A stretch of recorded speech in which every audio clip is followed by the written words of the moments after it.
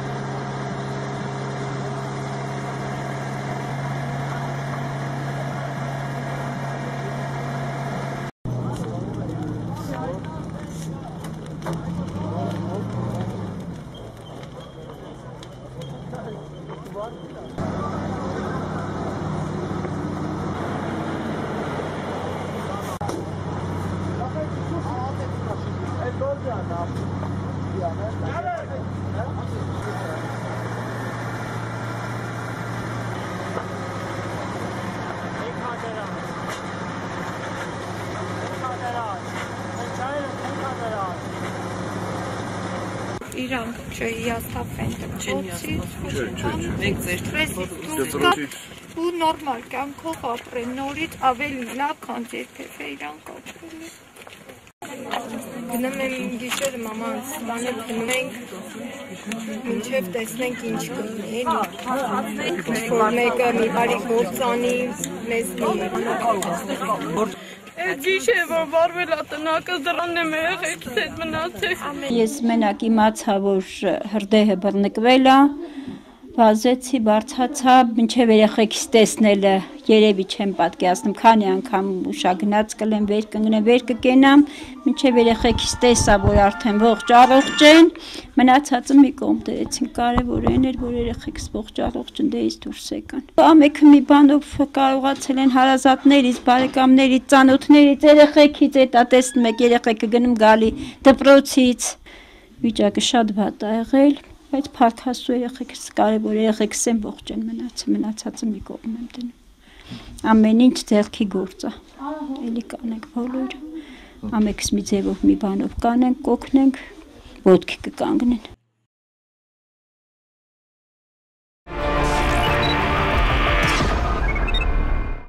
Վահե Հերմինե, դուք որքան ժամանակ եք ապրում այս տանը, որ այլևս հողին է հավասարացրել կրակը։ Ինչպես հայտնվեցիք այս բնականում, որը ձեզ այն շատերն են պնդում, որ իրականում կասկածի տեղի քարուցող է եղել, այսինքն պատերը եւ կառույցը եղել է փայտից եւ բոլորը տեք կարծես կասկածներ ունեցել, որ այն մի օր այնուամենայնիվ դառնալու է գրագի բաժին։ Փայտից էր, խոնավ էր, խոնավություն կար, նու 4 դոմիկ էր։ Դուք հենց առաջին հարկի բնակիչ եք։ Այո։ Մեջտեղի բնակարանն է։ Այո։ Ահա։ Ձեզ ինչպես դուրս հանեցին բնականից։ Ես մեր բնականում էի, մեկ էլ դուրը թակեցին, որ դուրս եկեք հրդեղին։ Ու երեխեքին վերցրել եմ դուրս եկել։ Լավ, նա երբ որ դուք դուրս եկաք արդեն, կողքից էիք նայում, ոչ թե բնականից։ Ինչ տեսք ուներ հասկանալի էր, որ այն խլելու է այն ամեն ինչ, օրինակ դուք երկրաշարժից հետո փորձել եք որպես ապրուստ ունենալ այդ պատերի ներսում, որոնք փայտից էին։ դե Որտեվ շատերը ձեզանից հույսեր են ունեցել, որ իրականում շատ արագ հրդեհը կկարողանան մարել եւ քիչ վնաս, վնասված կլինի։ Դե ճիշտն ասած, ես շատ վատ եմ եղել, այտենց ոչ բան։ Ահա։ Չեմ հիշում, չգիտեմ։ Ահա Ես հույս ունեի, որ կփրկվի գոնե մի քանի բնակարան։ Երբ որ հրշեջները եկան, ես արդեն հանգստացա որոշ չափով։ Ու սպասում էի, որ արդեն կհանգցնեն, բայց որ արդեն բռնկվեց երկրորդ հարգը, ես հույսս կորցրեց։ Դուք կողքից անմիջապես դիմացը կանգնած նայել եք եւ ձեր աչքի առաջ է այս ամենը տեղի հա, ունեցել, դուք տեսնում եք թե ինչպես են այրվում այն ամբողջ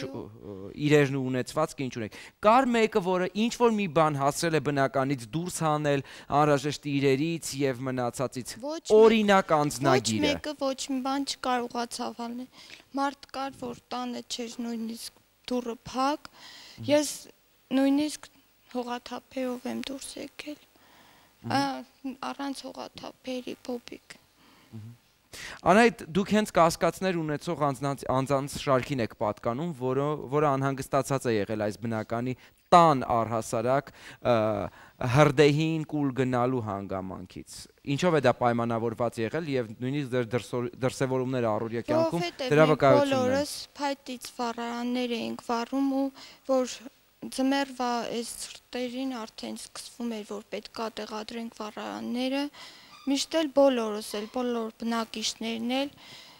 վախ են ունեցել, որ մի օր կարողա հրդեհվի։ Երեխաներին միշտ զգուշացնում էինք մուտքի մոտ, որ հանկարծ տեղ թուղթ չվառեք, պատեր ամբողջությամբ Բնակիչներից միայն դուք եք հակնված գիշերել ամբողջ գիտակից կյանքը, թե մնացածներն էլ ձեր նման պատրաստված են եղել։ Բոլորն էլ անհանգիստ են, պարզապես ես որ սկզբից մենակ եմ եղել երեխաներիս հետ, այդ վախը միշտ իմ մեջ եղել է։ Նունե հեր Հերմինե դուք էլ եք գիշերը հակնված քնում, որովհետև կասկած կար սրտում, որ ի վերջո մի օր այս ամենը տեղի է ունենալու, որովհետև Տիկին Անահիտը իրեն հիշում է, որ ինքը քնած է միշտ եղել առօրյա հակոստով, որ արագ բրծնի տանից։ Ես ոչ մի բան չեմ հիշում։ Դե մի ասենք շատ որ փետից էր, շատ չոր էր, էլի արդեն 20 տարի ավել այդ լրիվս է վախում ենք, էլի պես աբանա պեշկիս կթռներ ու արդեն չենք կարալ էլի ոչ մի բան անենք ոնց որ այնա հենց հիմա հիմա բոլորդ բարձրացնում եք այն հայտ հարց որ կառույցը փայտից է եղել վերանորոգումներ չեն արվել վերջին անգամ դուք ինքներդ ձեր տանը ինչ միջոցներ եք ձեռնարկել որոշակիորեն բայց պաշտպանված լինելու համար դե իրա կոմերը ասենք վառարանի կոմերը մենք միշտ պաշտպանել ենք տակա կողքա հետևաբան բայց դա ասենք էլի մեջ այդ վախ կար էլի փետի տնակներ էլի ու ասենք մի մի շարքից չի մի 4 շարք ինքը հաստ պատեր հաստ պատեր ասենք մի քանի շարքից էր տախտակն էլի շատ էր տախտակը ու 4 դրա համար էլ վախում ենք դոմիկները բնակները ոնց որ իրենք են ասում տրամադրվել են իրենց երկրաշարժից հետո որոշակի ժամանակ մինչև նրանց համար բնակարաններ կկառուցվեն հետ վթարային այդ իրավիճակը կանխելու նպատակով այսինքն ոչ ոք չէր պլանավորել, որ այս մարդիկ պետք է ապրեն այդ տնակներում մինչև 2013 թվականը։ Նրանք բավական երկար են ապրել այդ տնակներում։ Նրանց վաղուց արդեն պետք էր բնակարաններ հատկացված լինել։ Ձեր հաշվարկները յուրաքանչյուրի հնարավորության եւ կարողությունների սահմանում է։ Օրինակ ձեր ընտանիքը որքան վնաս է կրել։ Ես չեմ կարող հիմա հաշվել ինչքան վնաս կրեցի ես, բայց ձեռք էի բերել շատ բաներ, որոնք օգնության, թեկուզ օգնության ձևով իմ եղբայրը, իմ բարեկամները, բոլորն էլ ինձ օգնել են միշտ, ինչ էլ ձեռք են բերել քիչ-քիչ ու որ մեծ էին իմ երեխաները, արդեն ահագ իմ բաներ ես իրանց պատրաստել էա մեջուներ, որ իրանք նորմալ կյանքով ապրեն, նորմալ հաճախեն դպրոց, ոչ մի բանից հետ չմնան, թե հագուստով, թե Հերմինե դուք հաշվարկներ արել եք արդեն թե որքան է կորցրել ձեր ընտանիքը։ Չէ, չենք հաշվարկել, բայց դե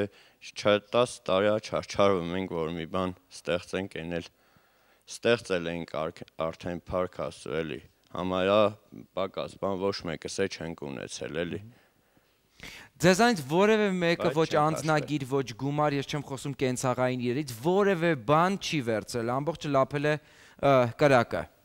Ես անձնագիրս իմը գործի տեղն ա եղել մնացել անձնագիր։ Միակ անձը, որի անձնագիր փրկվել եք այս բնակարաններից դուք եք։ Աշխատավայրը մա եղել այնտեղ մնացել։ Նախ ասեմ, որ միջադեպը, դեպքը որ պատահել է 24-ին, նոյեմբերի 24-ին այրվել է ամբողջ այդ տնակը, դրսում թողնելով 6 ընտանիքների 25 անձով, գործած փաստաթղթերի արծով մարսպետը համապատասխան ուրեմն միջնորդություն կներկայացնի եւ բոլոր եւ անձնագրերը եւ ծննդականները նույնիսկ վարորդական իրավունքները երկու ընտանիքի երկու անձի հարց կար եւ բոլոր ծախսերը մարսպետը վերցրել իր վրա լոռու մարսպետը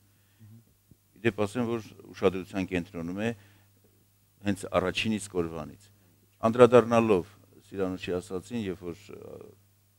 բնականի հատկացման հարցով ասեմ որ կառավարության սահմանած կարգով կա թե ովքեր պետք է բնակարան ստանան, այսինքն նրանք ովքեր տուն են կորցրել, դեզանից որևէ մեկը տուն չի կորցրել, հետեւաբար այդպեսի ցուցակում չէր կարող հայտնվի։ Այսինքն դուք մասնավոր ձևով եք գնացել։ Այդ տնակ տնակը այդ երկհարկանի տնակը ել ցանցի գերատեսչական պատկանելությանը եղել եւ ուրեմն երևի հենց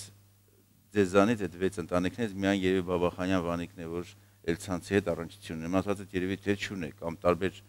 ձևով հերակա։ Հա ներկա չէ,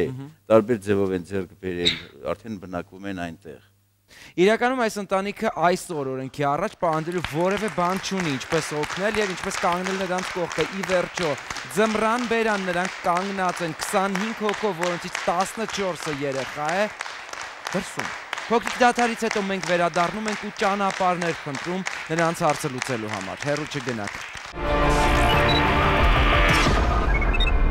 Կիսաբաց լուսամուտներ հիմնադրամը օգնում է հարյուրավոր ընտանիքների։ Ոչ մի խնդիր, որ երբևէ բարձրաձայնվել է մեր թողարկումներում, անպատասխան չի մնացել։ Եվ հիմա մենք կոչ ենք անում ցրել անտարբերությունն ու անverջ բողոքելու փոխարեն գործել, օգնել այն մարդկանց, որոնք ունեն դրա կարիքը փրկել մեկ ճակատագիր, օգնել մեկ երեխայի, սրբել մեկ մոր արցունքներ։ Չկա ավելորդ օգնություն, չկան փոքր նվերներ, կա ցանկություն, որը միավորում է մեզ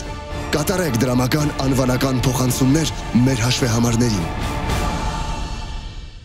Երկրի թիվ 1 թոք-շոուն բացել է իր դռները բոլոր նրանց արջև, ովքեր օգնության, սեփական պատմությունները, խնդիրները եւ կարծիքները բարձրաձայնելու կարիք ունեն։ Բոլոր նրանց, ովքեր խճճվել են կյանքի բարդ իրավիճակներում։ Բոլոր նրանց, ովքեր հուսահատվել են։ Առաջին աշխատավարձով դու ինչ ես գնել։ Քուրիկիս համար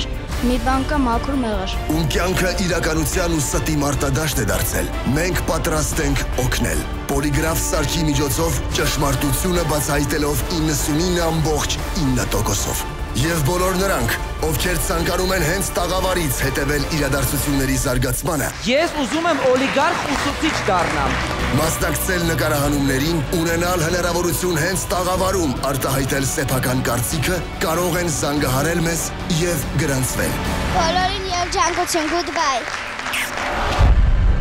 Իսաբաց լուսամուտներ։ Երկրի թիվ 1 թոք-շոուի բոլոր թողարկումները դիտեք YouTube-ի Աթիրի հեռուստաընկերության պաշտոնական ալիքում։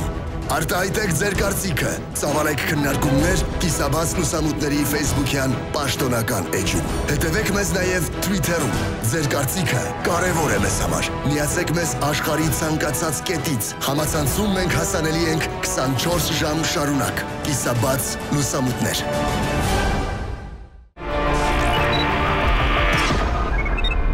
Դուք դիտում եք կիսաբաց լուսամուտներ, շնորհակալություն բոլորին ուշադրության համար։ Մենք վերադառնում ենք եւ հիշեցնում կիսաբաց լուսամուտներ բարեգործական հիմնադրամի մասին։ Այն ստեղծված է, որպեսզի մենք միասին կարողանանք օգնել այն ընտանիքներին, որոնք դժվար կացության մեջ են։ Մեր ուշադրությունն այսօր դեպի Գուգարք է, որտեղ նոյեմբերի 24-ին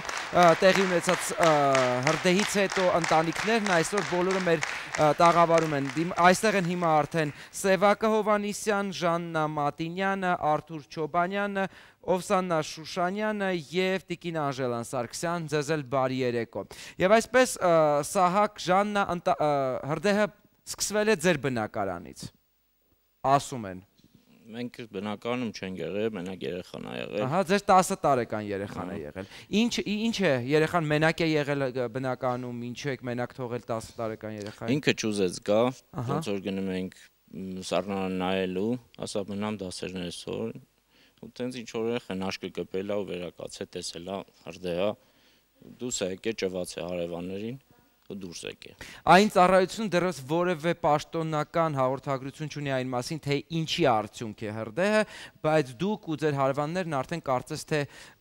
ինքնուրույն որոշել եք, որ դա վառարանից բռնկված է, ինչը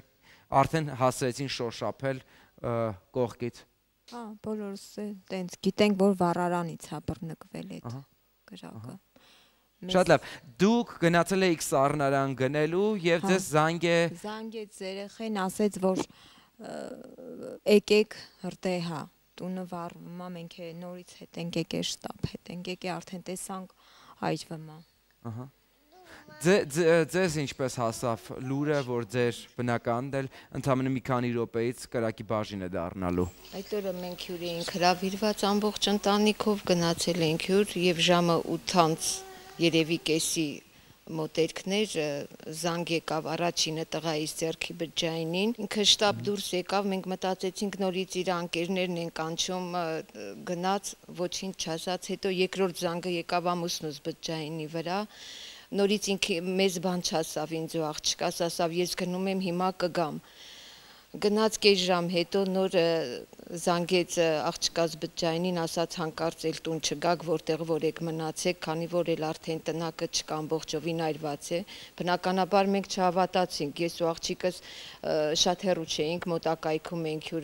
հրավիրված, անմիջապես վազելով շտապեցինք, տեսնենք ինչ ասում, միգուցե կատակ անում, վազեցինք եւ մոտակա շենքը շրջանցելով արդեն բոցերի մեջ տեսնելով հերվից տնակը տեսնենք որ չէ կատակ չի մոտեցանք մի երկու րոպե արդեն տեսանք այր բնակարան չկայրվում է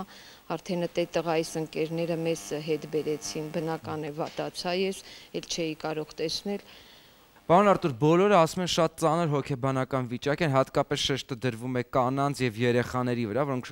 ոնցից շատերը վախեցած են ուղակի։ Ինչով է դա ինչ կերպ է դրսևորվում։ Երեխաները գիտեն, որ դե շատերը շոկից դեռ չեն կարողանում դուրս գալ։ Իհարկե, որ ոչ մեկը չի կարողանա շոկից դուրս գալ, որովհետեւ դա աշկով մենք աշկով ենք տեսել, դուք կադրերով եք տեսնում, դա շոկ է բոլորի համար, բոլոր 6 բնակիչի համար է դա շոկ է որովհետև չեն էլ կարա մի ահագին ժամանակ պետքա որ այդ ստրեսից դուրս գալ սարսափելի անտանելի վիճակ այդ պահին գտնվում էինք այգում Դոմիկին կից, տնակին կից այգում էինք գտնվում բոլորս։ Այդ ամենը կատարվեց մեր աչքի առաջ։ Ուղակի բախտի բերմամբ ճակատագիր էր բոլոր, բոլորս մնացինք ողջ հենց առաջին բնականից է հիմ, հիմքը եղել այնտեղ է կրակը այսպես ասած սկիզբ առել, հա երեխան որն առաջինն է նկատել սկսել է նաև օգնություն կանչել ու բացի դրանից ծեծել է բոլոր դռները որպեսզի կարողանա հարևաններին փրկի 10 ամյա Սամվելն է այս ամենի հեղինակը նա եւս այստեղ է եկեք Սամվելի կինել դիմավորենք տաղավարում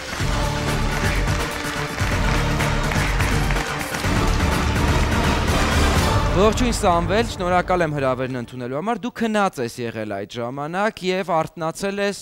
ու ինչ տեսար առաջինը։ Դե կրակ կրակը հետո որ վազեցի, սաղին ասեցի որ դուս եկեք։ Ինչն էր այրվում։ Դու տեսել ես կոնկրետ բաներ, երբ խալին եւ արդեն վարակույրներն էին։ Մենակ վարակույրներ։ Մեն մի հատ վարակույրներ վարվը մեկ է պալասը։ Դու ինչ որ բան վառարանի մեջ գցել ես այդ ժամանակ, ինչև պարկելը քնելը։ Փայտ եմ գցել։ Ուղակի փայտ։ Լավ, դու սկսել ես բոլոր դռները ծեծել, հասկանալով, որ հրդեհը օգնություն է իր կանչում, թե բոլորին ասում է իր որպեսի դուրս գան փրկվելու համար, Սամվել։ Դե փրկվելու համար է։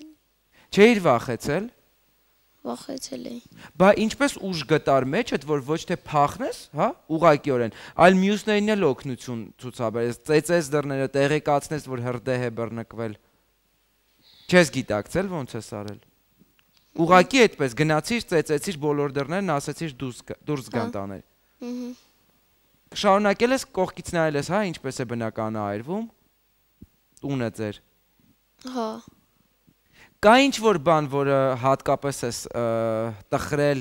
քո ունեցվածքից, որ այրվել է։ Խաղալիքդ է, գիրքդ է գուցե, չգիտեմ, ինչ ինչն է հատկապես քեզ ցավ պատճառում, որ այրվել է այդ տան մեջ։ Գրքերը։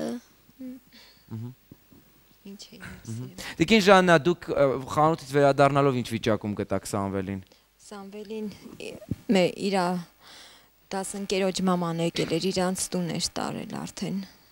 եկա արդեն երեխեն շատ վատ վիճակի մեջ էր։ Այսօր երեխաներ շատերն են իրականում շոկային վիճակի մեջ։ Բոլոր երեխեք։ Ինչ է կատարվում իրականում երեխաներին հատուկ հոգեբանական աջակցություն ցուցաբերվում է, ինչով են երեխաները այս պահին զբաղված։ Աջակցություններ կան մեր օրանը երեխեքին հոգեբանական, ասենք տանում են ընդեղ իրանց մոտ հոգեբանական ասենք տրամադրել են հոգեբանել երեխեքին։ Ես առաջարկում եմ նայել էկրանին, տեսնենք թե ինչ է ասում լոռու մարզպետ Արտուր Նալվանդյանը։ Կոնկրետ հանձնարարական ունեմ Հայաստանի Հանրապետության նախագահի կողմից, որ հետաքրքրվենք, տեսնենք Վանաձորում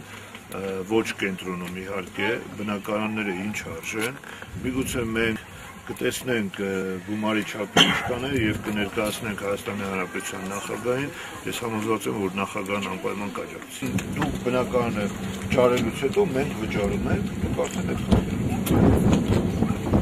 այդ տարբերակով ենք գնում։ Որովհետև այսօր համաշխարհի փոխհամաձայնության փոխհամաձայնությանն ենք եկել։ Դե դե տարբերակ, ինչ եղել։ Հիմնականը պարոն Մարսպետ որպեսի դպրոցը չփոխել էաշակերտը։ Դպրոցի հետ կապված գիտեմ, որ գիր Գերենական պիտույքներ բան այսօր ոչ մի բան չկա։ Մենք դրա խնդիրներ կլուծենք, մենք նորից պիտույքներ կտրամադրենք, գերենական պիտույքները ու էլ երեխեքին կտրամադրենք, որպես երեխեքը դպրոցից հետ չմնան։ Հիշեցնեմ, մենք լսում էինք Լոռու մարզպետ Արթուր Նալբանդյանին եւ այստեղ է նաեւ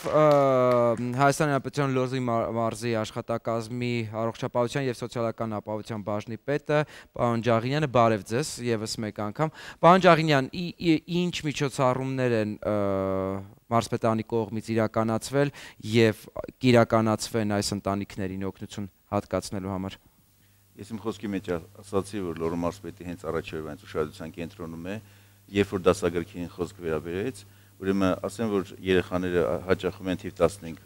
դպրոցը, Մաշտոցյանվան բոլոր երեխաները եւ դպրոցի տնօրինությունը երեխաներին արդեն դասագրքերով ապահովել է, գրենական պետությունները արդեն բավականաչափ ստացվել է, փոխադրել ենք արդեն երեխաները ունեն։ Լոռու մարզպետը նաեւ պատրաստականություն է հայտնել ձմռան ամիսներին, այս 4 ամիսներին վարձակալած տների համար դրամ հատկացնել,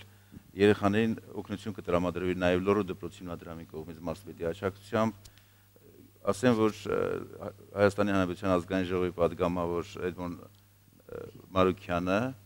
Վանաձորի եւ այդ հարակից տարածքին падգամավորը 70000 հրական դրամ փոխ յուրաքանչյուր ընտանիքի աջակցել է դուք էկրանին տեսակ նաև գյուղապետին պարոն Աշուղյանին նա էլ ավականու որոշմամբ 80000 դրամ յուրաքանչյուր ընտանիքի աջակցել ուրեմն տրամադրել է, նաև Մոսկվայի բնակ Էդմոն Էվոյանը 500-ական դոլար յուրաքանչյուր ընտանիքի արդեն ընկերների միջոցով ուղարկել եւ նրանք ստացել են։ Իդեպ ասեմ, որ նախորդ ներկայացուցիչ որ Վանիկ Բաբախանյանի, քանի որ ասել ցանցում է բնակվում, նաև այդ նրանց կոլեկտիվը Յուսայն Էլցանցի դեպիտ մասնաճյուղի կոլեկտիվը դրամահավաքի կազմակերպում եւ մենք հույս ունենք որ հավաքված գումարով նույնիսկ կարող ենք բնական ձեռք բերել այդ ընտանիքի համար այդ դրամով նաեւ շատ ակտիվ են ես շնորհակալություն եմ հայտնում մեր հասարակությանը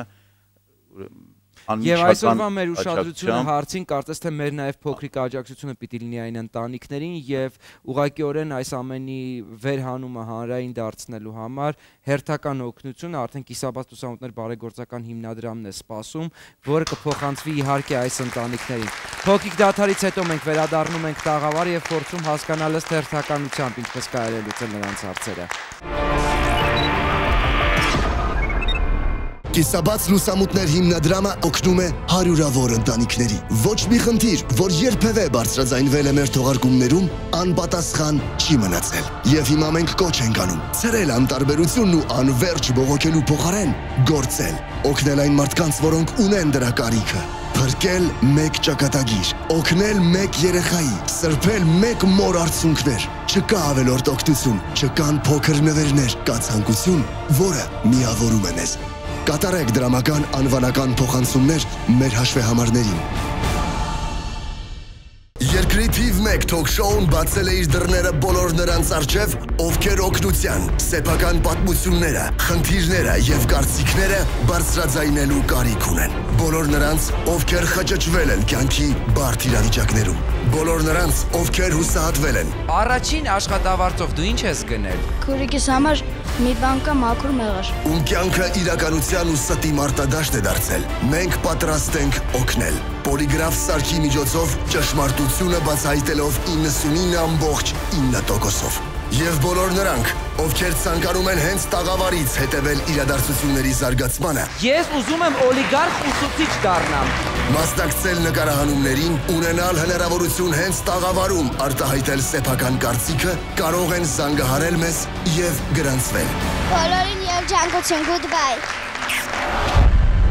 Իսաբաց լուսամուտներ Երկրի թիվ 1 թոք շոուի բոլոր թողարկումները դիտեք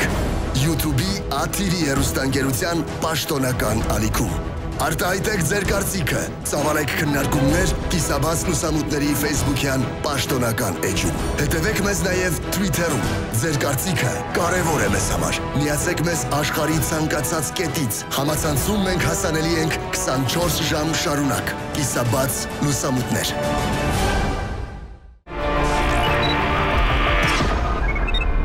Շնորհակալություն, որ մեզ հետ եք։ Դուք դիտում եք Կիսաբաց լուսամուտները երկրի գլխավոր թոք-շոուն վերադառնում է մեր ուշադրության կենտրոնում է այսօր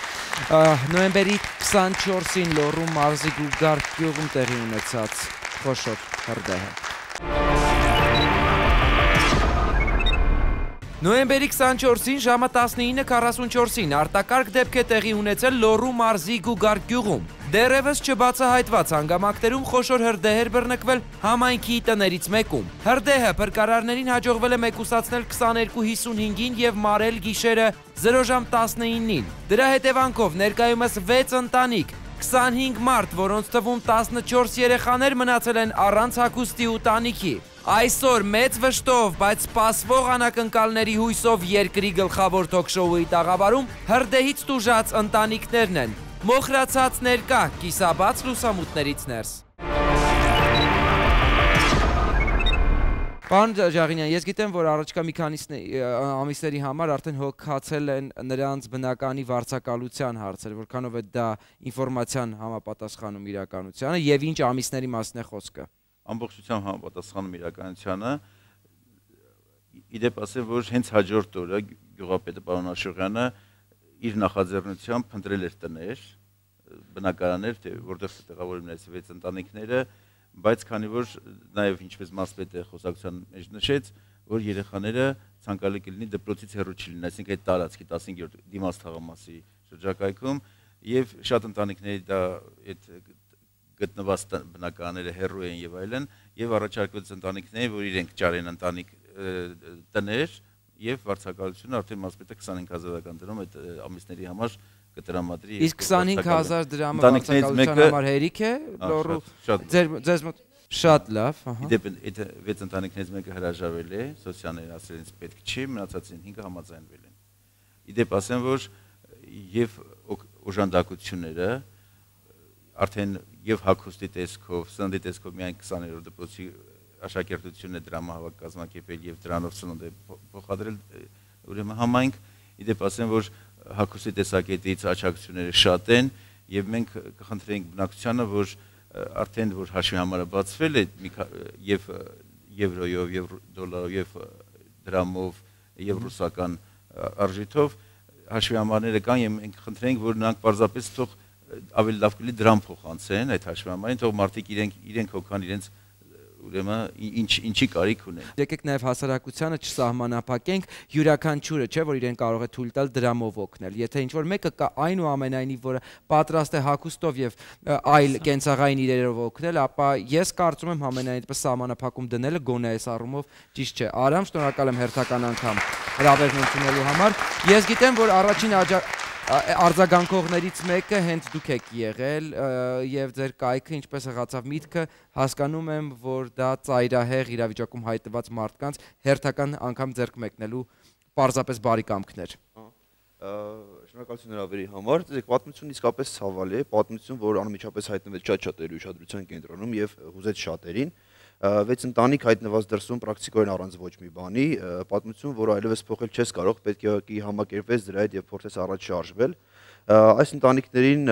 արցունքներ, հույզեր ավել պետք չեն, պետք է բացառապես օգնություն եւ ես եւ իմ ընկերները մեկն էինք այն մարդկանցից, ովքեր նախաձեռնեցին օգնություն եւ հիմա դրսում է սպասում է մեր միկրոավտոբուսը բեռնված գույքով, տեխնիկայով, համակարգիչներով, հագուստով, տարբեր պարագաներով, որոնք հիմա ընտանիքների հետ միասին ուղղելու են իրենց մոտ եւ փորձելու ենք ինչ որ կերպ աջակցել իրենց որովհետև եթե մենք չանենք, ոչ ոք չի անելու եւ պետք է ուղղակի օգնենք ոտքի կանոնին, այսպես։ Անպայման այսօր մեր Վանաձորյան թղթակիցները իհարկե կդիմավորեն այն եւ կտեսնեք թե ինչպես է բաժանվում այն ժողովրդին ու այս ամենի մասին մենք կպատմենք արդեն կիսաբաց լուսամուտների հերթական ամփոփիչ թողարկման ժամանակ։ Արամ ինչպես փորձեցիք կազմակերպել, քանի հոգի է միացել նախաձեռնությանը, սա կարծում եմ ողջևորող է բոլոր նրանց համար, ովքեր իրականում միշտ նայում են, ասում են շատ լավ է, շատ լավ է, բայց երբեք չեն կարծում, որ այդ լավ լինելու արդյունքում կարելի է նաև սեփական լուման ներդնել, օգտագործած կամ ամբողջովին նոր որևէ իր նվիրաբերելով նման տեսակը։ Եկրում շատ հաճախ են կազմակերպում նման բաներ, շատ ընտանիքները ցավոք, որոնք օգնության կարիք ունեն, նման ծայրեղ վիճակում ընտանիքները քիչ են հանդիպում, բայց նույնպես կան եւ անհրաժեշտ է օգնություն։ Նախաձեռնեցինք անմիջապես, երբ որ ծանոթացանք պատմությանը, հայտարարեցինք, որ այսպիսի բան են կազմակերպում, սկսում ընկերների մոտ, ապա մոտ 100 հոգի մեր կողքը կանգնեց եւ ամեն մեկ իր տարբեր իրերով, տարբեր հակոստով, տեխնիկայով մեզ աջակցեց, մեզ միացավ եւ հիմա բավական մեծ քանակությամբ ապրանքներ են հավաքվել, որոնք կարծում եմ լսնելու են դրանց տները եւ երբ որ ամիսներ անց դրանք իրենց սեփական տները կունենան, արդեն կարծում եմ որոշակի քանակությամբ իրեր կունենան, որով Հրաշալի արամ, կարծես կիսաբաց լուսամուտների 4 տարվա առաջ 4 տարի առաջ սկսած աշխատանքն այսօր շատերն են որթեգրում եւ իդեմս ձեզ դուք էլ կարծես ձեր աջակցությունն եք փորձում ցույց տալ ինձ իմ համար համենայն դեպս որպես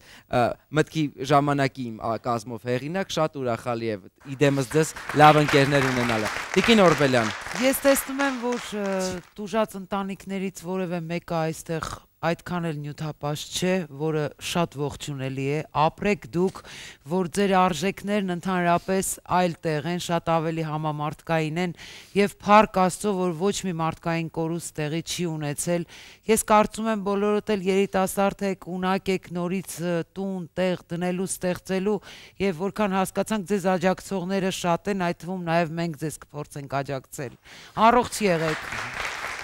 Եվս մեկ փոքրիկ դաթար, որից հետո կիսաբացը վերադառնում է այստեղ զրուցելու համար ընտանիքներին ի վերջո, ինչպես են նրանք տեսնում սեփական իրավիճակում հայտնվելուց դուրս գալու ճանապարհը։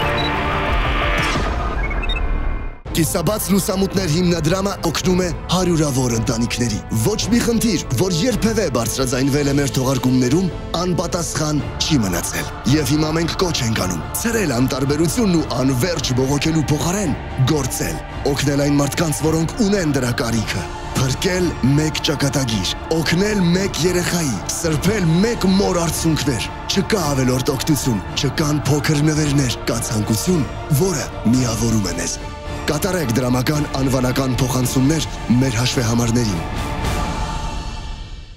Երկրի թիվ 1 թոք-շոուն բացել է իր դռները բոլոր նրանց առջև, ովքեր օգնության, սեփական պատմությունները, խնդիրները եւ կարծիքները բարձրաձայնելու կարիք ունեն։ Բոլոր նրանց, ովքեր խճճվել են կյանքի բարդ իրավիճակներում։ Բոլոր նրանց, ովքեր հուսահատվել են։ Առաջին աշխատավարձով դու ինչ ես գնել։ Քուրիկիս համար մի բան կա մաքուր մեղր։ Ում կյանքը իրականության ու ստի մարտադաշտ է դարձել։ Մենք պատրաստ ենք օգնել։ Պոլիգրաֆ սարքի միջոցով ճշմարտությունը բացահայտելով 99.9%-ով։ Եվ բոլոր նրանք, ովքեր ցանկանում են հենց տաղավարից հետևել իրադարձությունների զարգացմանը։ Ես ուզում եմ օլիգարխ ուսուցիչ դառնամ։ Մասնակցել նկարահանումներին, ունենալ հնարավորություն հենց տաղավարում արտահայտել սեփական կարծիքը, կարող են զանգահարել մեզ եւ գրանցվել։ Բոլորին երջանկություն, goodbye։ Իսաբաց լուսամուտներ Երկրի թիվ 1 թոք շոուի բոլոր թողարկումները դիտեք YouTube-ի Աթիրի հեռուստաընկերության պաշտոնական ալիքում։ Արտահայտեք ձեր կարծիքը, ծավալեք քննարկումներ Կիսաբաց լուսամուտների Facebook-յան պաշտոնական էջում։ Հետևեք մեզ նաև Twitter-ում։ Ձեր կարծիքը կարևոր է մեզ համար։ Միացեք մեզ աշխարհի ցանկացած կետից։ Համացանցում մենք հասանելի ենք 24 ժամ շարունակ։ Կիսաբաց լուսամուտներ։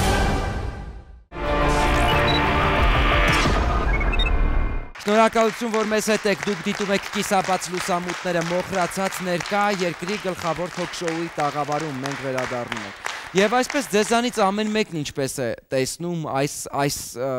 իրավիճակից դուրս գալու ճանապարհը, որովհետև մենք կողքից կարող ենք իհարկե նայել, փորձել, աջակից լինել, բայց դա ընդամենը կողքից է, ներսից որևէ մեկը չի կարող դա անել, խնդրեմ։ Բնականաբար սկզբում մեզ համար ամեն ինչ մութ էր, ահա որ այդ պահին, երբ որ արդեն կարծես մենք թունելի մեջտեղում ոչ մի լույս չէի տեսնում, շատ ահա որ վիճակում էի ծանր, հոգեկան, սակայն հաջորդ օր երբ որ տեսա ամբողջ հայազգը, մեր ղեկավարությունը, մեր կողքին կանգնած, մենք մեզ չթողեցին նրանք, որ մենք կոտրվենք, կանգնեցին կամուր ոտքերի վրա, նրանք թույլ տվեցին, որ մենք չկոտրվենք եւ ես դրա համար խոնարհվում եմ իմ ազգի, իմ ժողովրդի, բոլոր բարերարների առջև։ Իմ խորին շնորհակալությունը նրանց։ Տիկին Անժելա, ձեզ համար առաջնային հարցերը որոնք են, որոնք ըստ հերթականությամբ պիտի լուծվեն։ Առաջնահերթը բնակարանի հարցը, որ տանիք ունենանք, հետո մնացածը կլուծվի ինձ թվում է հույսով ենք։ Տիկին Ժաննա, ձեր ընտանիքը։ Մեր ընտանիքն է առաջնահերթ բնակարանի հարցը լուծվի մնացածն է երիտասարդ ընտանիք ենք էլի այս ընտանի այս ընտանիքները Տիկին Զինա Սիրանուշ բավական ակտիվ են զրույցի ժամանակ մի կողմ դնենք որ սա հերոստատեսությունն է եւ հատկապես ուշադրություն հրավիրենք այն հանգամանքի վրա որ նրանցից բոլոր գրեթե բոլորը շոկային իրավիճակի մեջ են Բացի նրանից, որ նյութական օգնություն է պետք, պետք է նաև հոգեբանական, ինչը այս դեպքում շատ ավելի կենտրոնացած է երեխաների վրա, բայց դրանով սահմանափակվելը կարծում եմ առնվազն քիչ է։ Իհարկե յուրաքանչյուր հոգեբանական օգնություն պետք է ինչպես փոքր երեխաներին, այնպես էլ չափահաս մարդկանց, որոնք հայտնվել են ճակատագրի հարվածի առաջ, բայց կարծում եմ հա, բոլորն էլ այս պահին սփոփվում են նրանով, որ մարդկային կորուստներ չեն եղել եւ դա այնուամենայնիվ նաեւ ճակատագրի նվերն է, որտեվ դա բացառված չէր։ Հոգեբանական օգնությունը կարելի է տարբեր կազմակերպություններում ստանալ, ինչպես նաև ես եմ պատրաստ ամեն վարքյան, եթե որևէ մեկը իմ կարիքը ունենա, եւ հերախոսով, եւ անձնապես, եւ համացանցով ամեն կերպ աջակցել ձեզ։